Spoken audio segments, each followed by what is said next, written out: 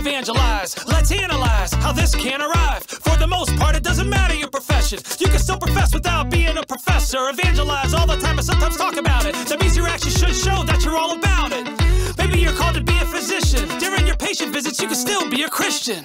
Maybe you're called to be some type of driver. Well, you can still be a witness to the riders. Maybe you're an artist. Maybe you're a janitor, a paralegal, accountant, or a manager, a groundskeeper, or an electrician, a mental health specialist, some type of technician, a coach, teacher, student, or athlete. You can give glory to God in any and all of these. It'll take some time to figure out your calling. Remain prayerful and be thankful for the hardships.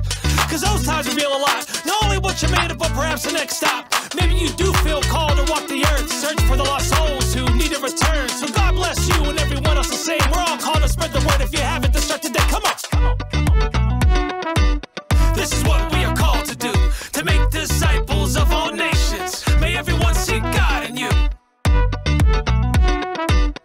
This is what